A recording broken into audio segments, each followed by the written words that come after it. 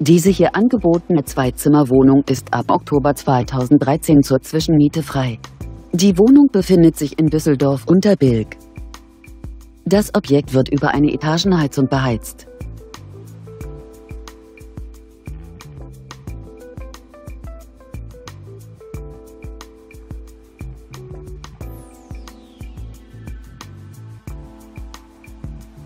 Die möblierte Wohnung umfasst eine Fläche von ca. 45 Quadratmetern.